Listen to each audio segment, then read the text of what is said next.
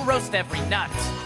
Mistletoe. This needs to be the best Christmas, the original. Bem-vindo ao Watch Mode Brasil. E hoje contamos nossas escolhas para os 10 melhores episódios de Natal em sitcoms. How much longer do I have to do this? I'm almost out of glitter. Nessa lista veremos os episódios de seriados mais animados e que nos colocam no espírito de Natal. Qual desses episódios você assiste para começar suas comemorações? Conta aqui nos comentários. Número 10. Nosso primeiro Natal. Full House. Quando se trata da época do Natal, aquela mensagem clichê realmente é verdadeira. O mais importante é passar o tempo com as pessoas que você ama, mesmo que seja em um aeroporto. First Christmas was in a manger. They did okay. I mean, so what if we're stuck in this crummy dump? Christmas isn't about about presents or Santa Claus or cows. It's about a feeling. It's about it's about people. Os Tanners e companhia ficam presos depois que o seu avião teve que aterrissar por causa de uma tempestade de neve. DJ fica arrasado quando os presentes desaparecem, enquanto Stephanie tem um infeliz encontro com o Papai Noel. Oh, Joey.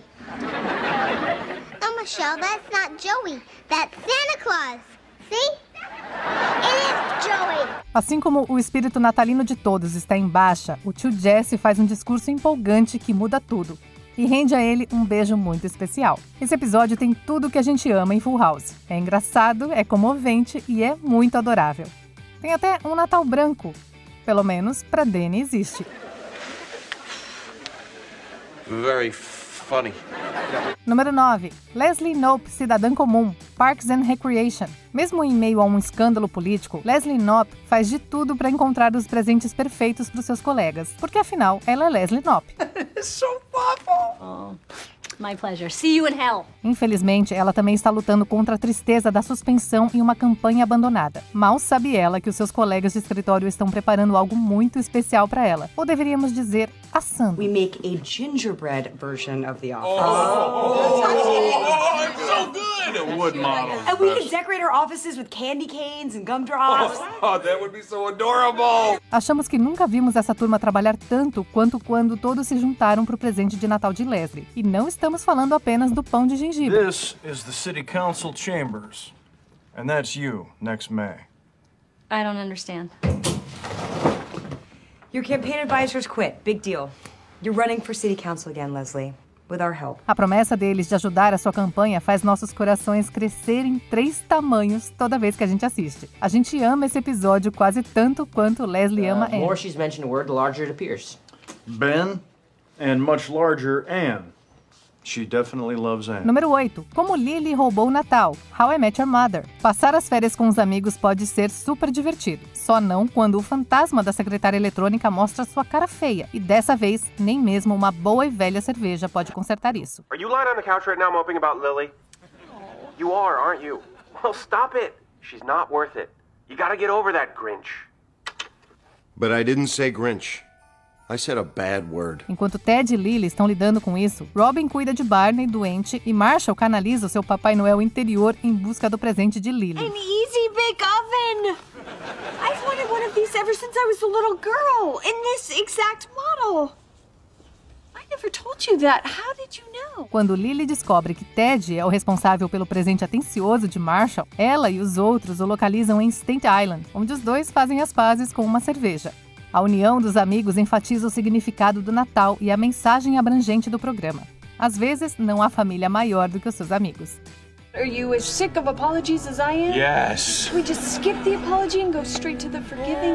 Yes. Número 7. A Festa de Natal. Um maluco no pedaço. Nesse episódio, toda a família se reúne em uma cabana de esqui mais aconchegante do que o esperado. I got news for you, Philip. This is your room. excuse me? Well, there are only four beds left, and Bobby got the last one.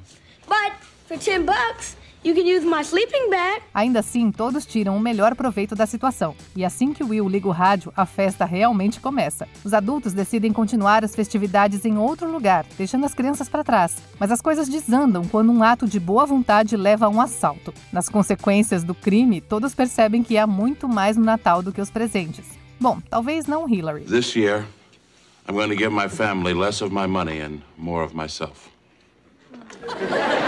No final, porém, até ela descobre que os melhores presentes costumam ser aqueles que o dinheiro não pode comprar. O episódio é hilário do começo ao fim, mas também é muito emocionante. Well, hey, hey, wait a minute. Um, you guys are drowning me out. My, my gift to you was a solo. No, no, Carl. You can still sing solo. So low that we can't hear you. Número 6. Coisas. Blackish. O Natal se tornou muito comercial. Esse episódio definitivamente argumenta isso. Pops teme que a família tenha perdido de vista o verdadeiro significado das festas e decide que é hora de fazer as coisas à maneira antiga. You get one gift. You broke my heart. Wait, one gift for all of us to share? Now that is an interesting idea. Shut up! Ninguém ganha a batalha do Natal antigo contra o Natal novo, e o tiro sai pela culatra também. Dre luta muito para deixar os seus filhos felizes e descobre como seu pai tentou fazer o mesmo por ele. Pops, you just could have said so. And what's that conversation look like? Listen, son, I work a minimum wage job and I can barely keep the lights on. So here's some pickles. Merry Christmas. A comercialização do Natal é praticamente um tropo da TV nesse momento, mas Blackish tem um ângulo único. Você pode pegar o melhor das velhas e novas tradições e jogar alguns presentes também, contanto que você esteja com as pessoas certas. Isso é tudo o que importa. Well, it's no God bless us, everyone, but I'll take it. Come on, give me some love. Give me some love. Merry Christmas. Número 5. A hipótese do kit de banho como presente, The Big Bang Theory. Apenas Sheldon Cooper pode pegar a tradição festiva de dar presentes e transformá-la em uma tarefa árdua. É exatamente o que acontece quando ele descobre, bem desapontado, que Penny se atreveu a comprar um presente de Natal para ele. I know you think you're being generous, but the foundation of gift giving is reciprocity. You haven't given me a gift. You've given me an obligation. Agora ele se sente forçado a retribuir o gesto e arrasta Howard e Raj para um doloroso passeio de compras. Isso culmina no melhor momento do episódio, quando Sheldon abre o presente de Penny e quase tem um ataque cardíaco. Sheldon, live long and prosper. Leonard Nimoy. He came into the restaurant. Sorry, the napkin's dirty. He wiped his mouth with it. No entanto, não é o guardanapo Nimoy ou as cestas de presentes que tornaram essa cena tão memorável. Sheldon abraçando a Penny foi um presente de Natal para todos nós. Isso só mostra que, com o DNA certo do ex-aluno de Star Trek, até o mais frio dos corações pode ser derretido. It's a Saturnalia miracle. Número 4. O Dia 23. New Girl. Esse episódio da primeira temporada encontra o equilíbrio perfeito entre entregar o humor clássico do seriado e nos atingir bem nos sentimentos.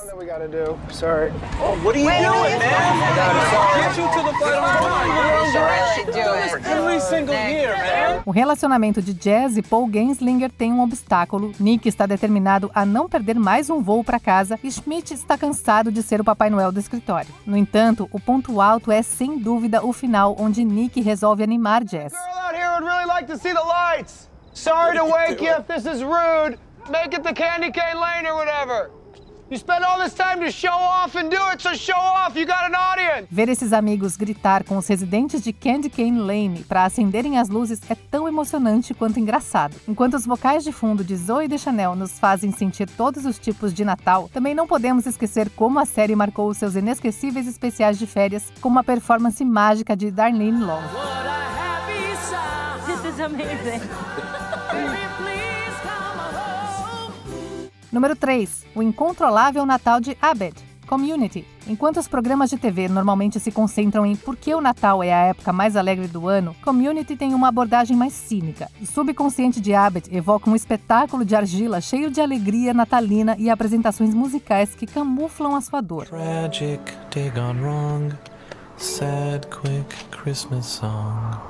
I don't suppose you know the meaning of Christmas, Lonely Snowman. A equipe parece ter dado duro nessa ideia para juntar tudo com um tempo tão apertado. E eles fizeram um trabalho fantástico. Os visuais são impressionantes, a música é épica e a história une perfeitamente o humor e o sentimentalismo.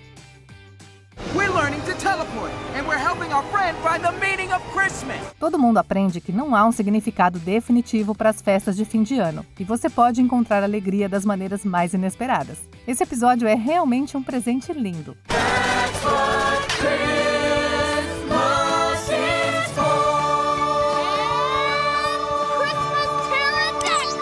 Número 2. Festa de Natal, The Office. Praticamente todos os episódios de Natal de The Office são muito bons, então é difícil escolher um favorito. Para nós foi uma disputa entre a festa de Natal da segunda temporada ou o Natal elegante da sétima temporada. No entanto, a gente teve que escolher o primeiro, já que ele envolve muitas das piadas com as quais associamos e amamos a série. Tem a troca de presentes hilária e desastrosa, a guerra de bola de neve de Jim e Dwight e Michael confrontando uma explosão do passado. Time back, ladies and gentlemen. What's up, my nerds?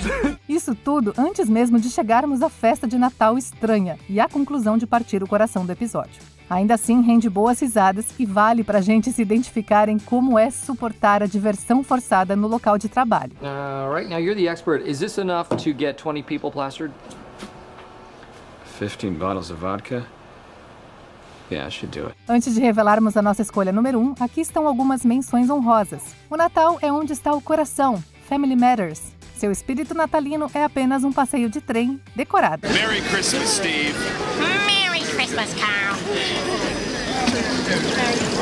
Foi um pesadelo antes do Natal, The Golden Girls. Imagine, Natal 1986. He has been holding us hostage all this time with a toy gun. I can't believe it. Neither can I. Dorothy, you call yourself an Italian? You can't tell the difference between a toy and a real piece? Especial de Natal, 30 Rock. Um episódio de Natal sobre como fazer um episódio de Natal. Ah, e Elaine Street. Merry Christmas to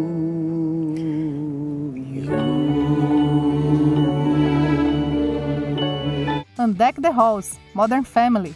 Um conto de Natal sobre aceitação, honestidade, generosidade e também uma viagem para a Itália. I made a mistake and people make mistakes and they make up for those mistakes by taking their family to Italy.